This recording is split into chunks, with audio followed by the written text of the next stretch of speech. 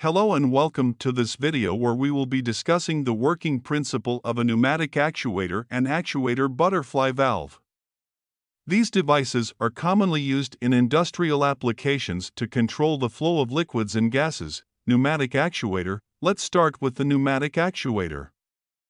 A pneumatic actuator is a device that converts compressed air into mechanical motion. It is used to control valves, dampers, and other mechanical devices.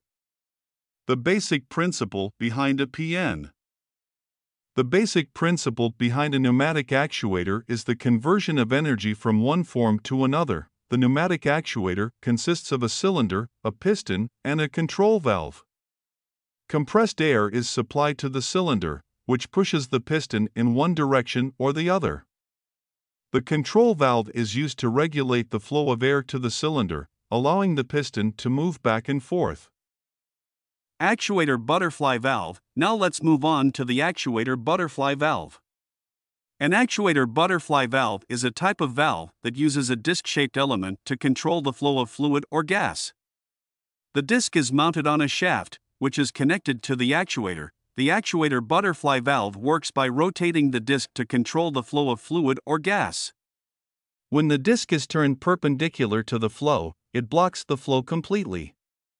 When the disc is turned parallel to the flow, it allows maximum. The actuator is used to control the rotation of the disc. When the actuator receives a signal, it rotates the disc to the desired position, controlling the flow of fluid or gas.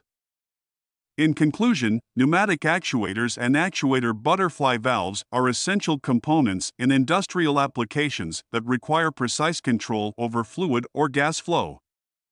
The pneumatic actuator converts compressed air into mechanical motion, while the actuator butterfly valve controls the flow of fluid or gas using a disc shaped element. We hope you found this video informative and helpful. Thank you for watching.